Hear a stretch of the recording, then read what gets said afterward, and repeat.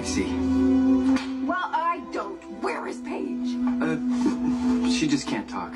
Excuse me. This is either someone's sick, sick joke or someone's working on a massive evil plan. Whatever it is, you guys are in danger without your senses. Piper, you're the most vulnerable.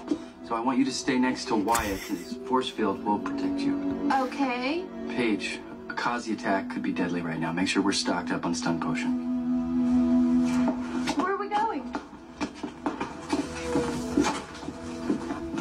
Phoebe, check the Book of Shadows. See what you can find out about evil monkeys and demons who control them.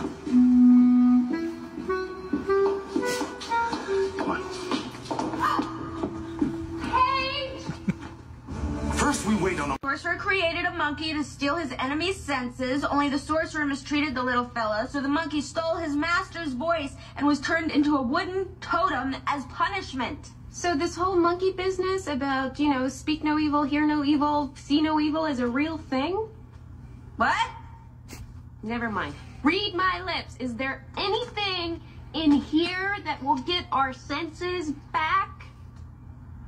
Piper, I can't hear you! Uh, what do we do? oh, Paige is proposing violence against the monkey. Well, I'm inclined to agree, but I really think the monkey is the least of our worries.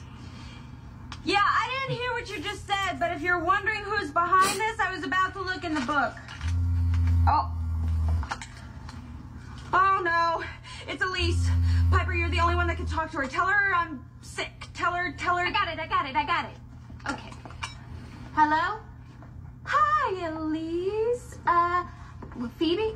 Y- yeah, she's here. She's lying down. Um, I don't know. In her ear infection, maybe? Shh. Oh, no, not yours. We just gotta work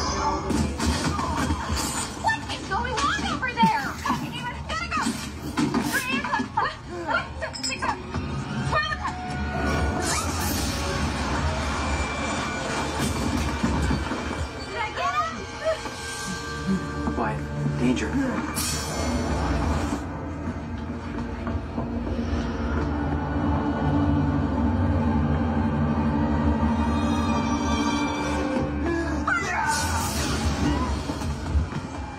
about that time?